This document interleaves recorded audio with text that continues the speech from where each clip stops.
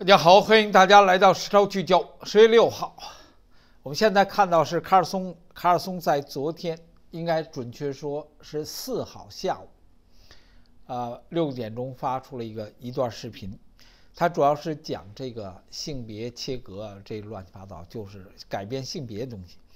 那他目前呢，卡尔松呢就在他采访一个专家，那个专家本身当然就是保守派专家了。啊，他节目这个采访者是个保守派专家，啊，从专家角度来讲，就陈述为什么有些左派就为什么为什么成为了一种潮流，为什么要这么去做，大概讲述这故事。啊，但他故事里面揭示的比较深刻的就是钱啊，呃，结果马斯克就就做了一个，就说这是钱，呃呃，一直跟随钱，那这就是这成为了一个故事。就是这个故事的问题在哪？故事问题在于卡尔松能够揭示今天遍布世界各地的一个真相内容，这是他真真正正讨论的东西。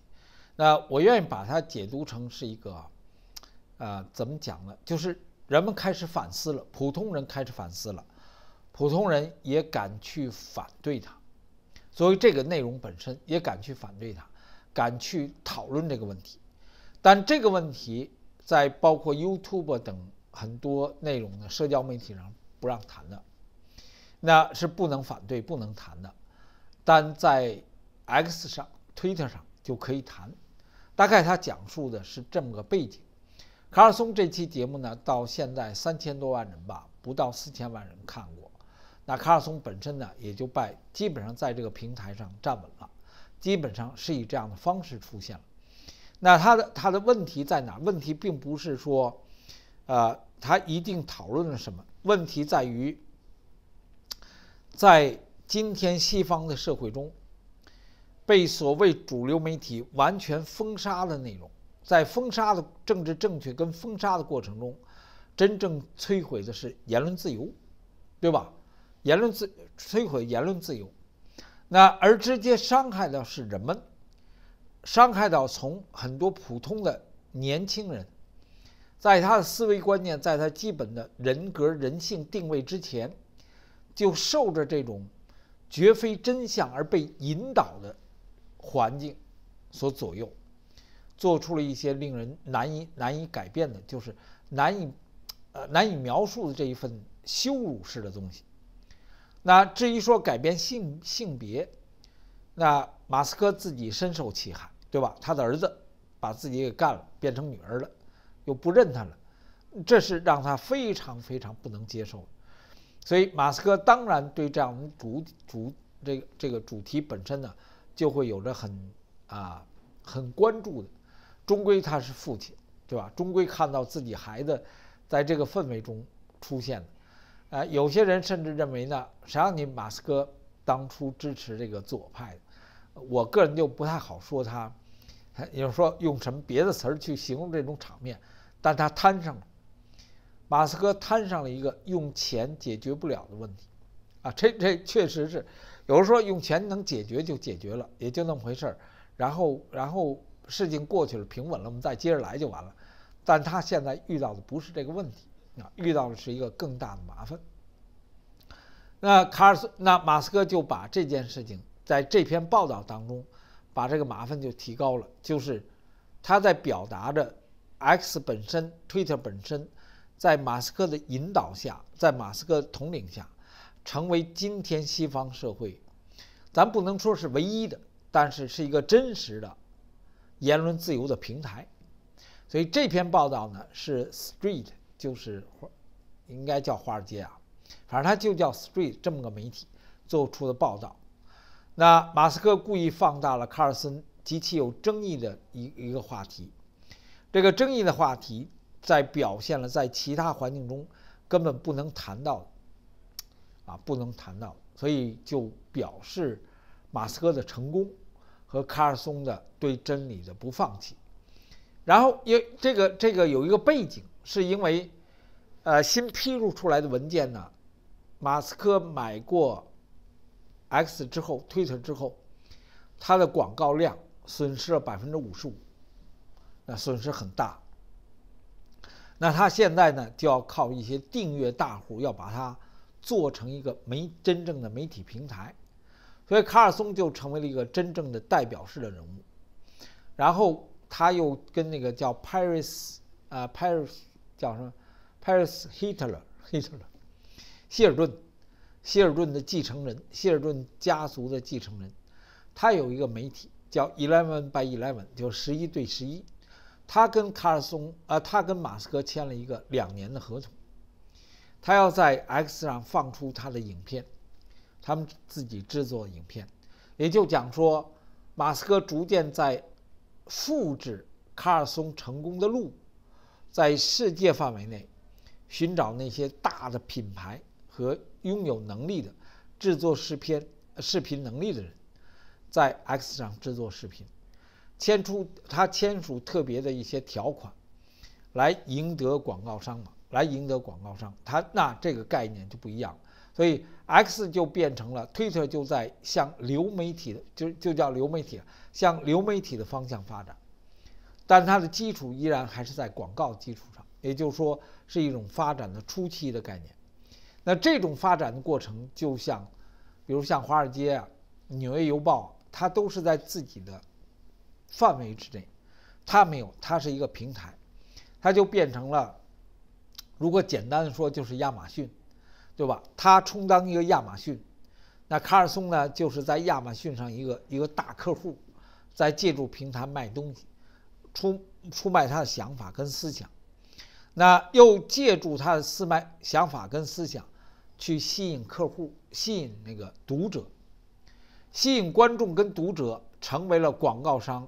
所需要的平台，所以就走了一个三部曲。呃，卡尔松十月四号拿出了一个节目，二十八集，获得了获得了马斯克的支持，谈论就是性别重新的性别手术问题啊。然后他性有关性别手术的问题呢，呃，人们有些人从中在获取自己的利益，他是这么讲的。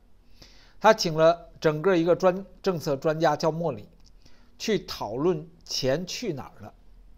这一期引起了马斯马斯克的注意，所以他就说关注了钱。呃，卡尔松有一亿多粉丝，没有一千多万粉丝。我不知道他为什么说一亿多粉丝。卡尔松的粉丝很少，但他流量很大。我看过一些讨论呢，那个讨论也蛮有趣的。他们认为呢，真正的。呃，粉 subscription 有多少呢？不是一个决定性，它决定性的还是在你内容。啊，但不同媒体有不同说法了。马斯克十月份收购 Twitter，然后开辟言论自由的空间。那三月份，呃，摩根斯坦利媒体电信会长马斯克批评媒体控制新闻中的报道陈述，言论自由需要保护，是。所以这是马斯克非常强调的一点，呃，他的原因就是他的儿子把自己给给干了。正常运作民主的基石是言论自由、公平竞争，这就是为什么有第一修正案，这是他们要做的第一件事情。就像我们必须确保言论自由是一样的。那为什么要这样？因为他们来自于哪里？来自于那里，那里没有言论自由。你失去言论自由，你就绝对绝对不可能被恢复的。所以这就是为什么我们要不惜一切代价保护言论自由。所以卡尔松这期节目就变成了马斯克确保言论自由的一个一个一个代表作啊，因因为这个内容在其他环境中是不成的。马斯克找了几个大户来。来发展他的他的平台，卡尔松推出之后，这是一个很成功的。他说，然后就另外一个人，呃，他就谈到卡尔松过来的原因，但卡尔松是非常成功的。马斯克说，不是任何交易的一部分，呃，他们俩这中间这故事呢，应该是卡尔松拿到了广告费的分享。有一个说法，川普那期节目拿到了一百万，呃，但是。具体他们怎么样做没有，没有说。呃，刚刚这个星期早些，Paris 希尔顿和他的媒体公司签了两年的合约。呃，希尔顿每年将建拿出四个影片的内容节目，观众透过能够浏览的产品目录，然后选择网站，透过我们的应用程序内的浏览器进行购买。啊，那也它就变成了平台平台了，对不对？很显然，希尔顿是借过借助它的平台，然后转出去，那吸引购买者。那凡是透过这儿转出去购买、购买希尔顿产品的人，呃，那他就应该要希尔顿就会跟 X 分享他的收营收，看起来是这么个运作方式。另外一个就是是一个是一个广告公司，用人工智能来评级错误资讯的公司，呃，那另错误。包括一些乌克兰战争啊，这些都包括其中了，来来保证在，Twitter 上，在在这个 X 上，它的信息是正确的，因为目前的状况，很多人离开，就是很多广告商离开 Twitter 的原因，是说他们这种言论自由的做法，促成了很多虚假的东西，呃，这些都是争争很大的一种争持。哦，如果你我说呢，就是上升到人的道德。马斯克可以这么做，但他肯定解决不了这个问题，因为是人道德沦丧的问题，而不是谁能够用不能够用，就是技术，它不是个技术问题。法律它是技术问题吗？肯定不是，但是法律出现的状况，是操纵法律的人出现的状况，啊，我在我眼睛里是这个。感谢朋友们的支持。